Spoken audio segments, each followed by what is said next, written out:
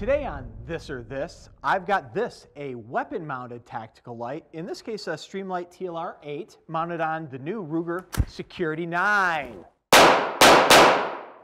And I have this, a Streamlight ProTac 2LX, which is obviously a handheld light. And I'm using a Walther PPQ SC. Jim, I notice you're not using a holster. Is it because they don't make one for that yet? All right, I, I see where you're trying to go, and I'm going to cut you right off because it used to be that you couldn't find holsters to fit handguns that had lasers or lights, but that is not the case anymore.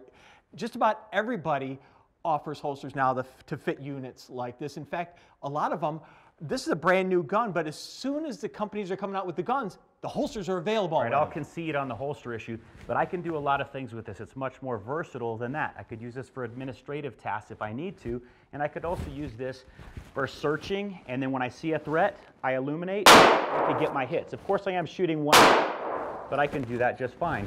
What's really nice, though, is let's say I'm walking down the street, I hear someone coming up behind me, I don't want to turn and point a gun at them, but I could certainly turn this way, create a little distance, and assess the situation. I'm using light to illuminate them, to distract them, and I'm seeing what type of threat I'm facing.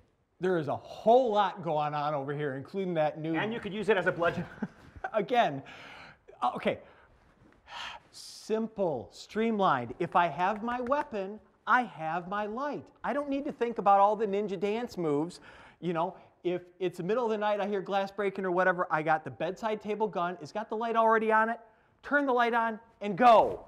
That is convenient, but I'll tell you, if I had to choose one, I would choose handheld, but I'd rather have both.